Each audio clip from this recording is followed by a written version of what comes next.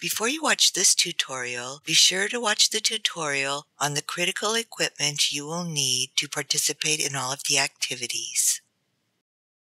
Plug your USB headset into your computer. The first thing you need to do is set your general preferences on the Mac. So go to your desktop and look at the dock. You're looking for System Preferences.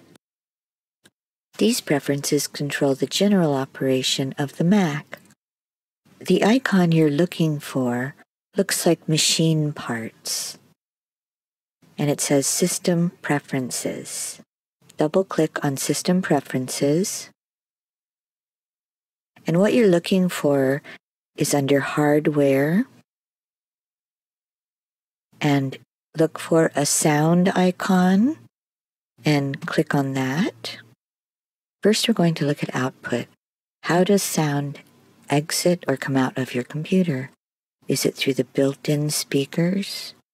Or is it through your headset or a special microphone configuration? If you're wearing a headset, this is where you should see it, and it should always be USB connection for the best quality. If you want to test your volume, you can click to the right and snap it just to be sure it is coming through your headphones. Now let's look at input. For input, you want to see again your USB headset or special microphone configuration.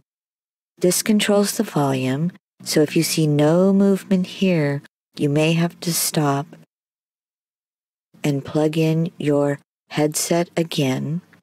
You may even have to restart your computer through Apple Restart in case you have a problem. That will reset everything, and sometimes that solves the problem. But before you restart, you can always try to unplug your microphone or headset and plug it back in and see if it appears here. Then you want to check the sound level. This is a little bit low perhaps, so I'm going to turn it up to about halfway. Okay, you can close that window.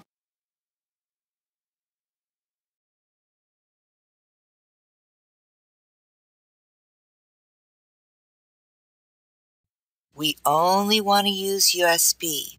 iPhone headsets will not work. Earbuds will not work. And any other kind of device that plugs into the headphone jack is not good. You might have a buzz. So we all want to use USB technology. It's mandatory. So you must buy a USB headset. Now, there might be times when you're in a class or you're in a group, we will send you out to watch this video again because we find the biggest problem we have in working online is with sound. So you're going to really have to perfect this. You're going to have to understand it because it's very disruptive if you don't have good sound and if it makes a lot of noise. So the first requirement in working online together is to master your sound controls.